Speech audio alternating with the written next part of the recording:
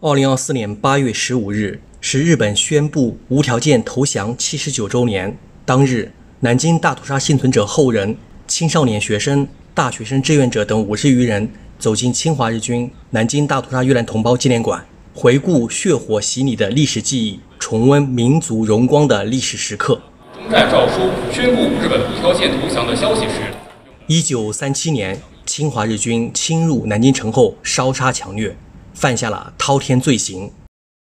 南京大屠杀幸存者夏淑琴一家九口人中的七口人被日军残忍杀害。当天，夏淑琴的曾外孙李玉汉赶到纪念馆参加活动。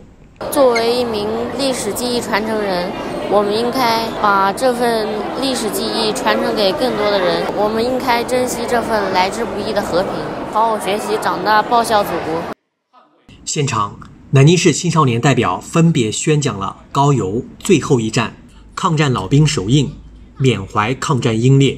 江苏省高邮市地处京杭大运河东岸，南临扬州，北向两淮，是苏中连接苏北的水陆交通要道。我觉得我们应该要勿忘历史，我们要珍惜现在的和平生活，好好学习，以后把祖国建设得更加强大。要。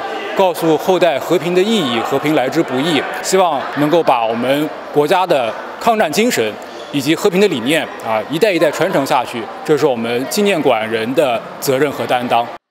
在侵华日军南京大屠杀遇难同胞纪念馆一面砂岩质地的弧形墙面上，排列着六百四十八位抗战老兵的红色手印，每个手印上既有姓名和编号。